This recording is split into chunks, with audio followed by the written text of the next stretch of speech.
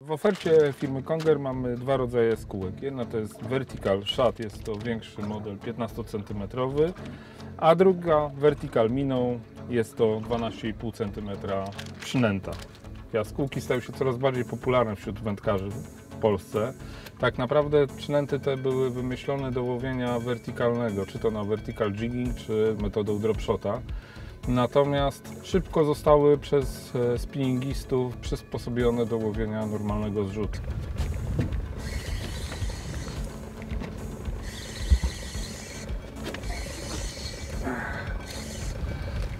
Będzie chyba lepiej.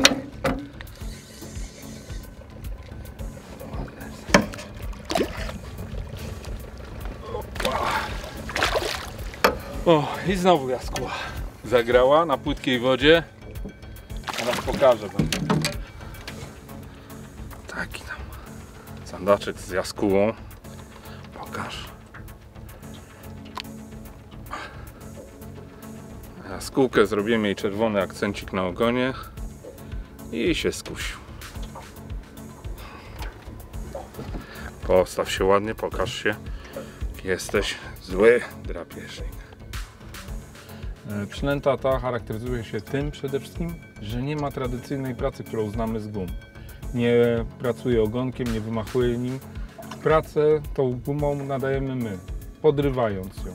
Są praktycznie dwa sposoby zbrojenia tych gum. Jeden tradycyjny, tak jak tutaj właśnie tą mam uzbrojoną gumę, czy tutaj tego Vertical Shada. Tak samo uzbrojone w główkę jigową, w tym momencie może musimy pracować tą gumą ostro podrywając ją. Natomiast, żeby miała ona jeszcze dodatkową, ciekawą pracę, zbroi się ją w czeburaszkę, tak jak tutaj mam uzbrojoną gumę.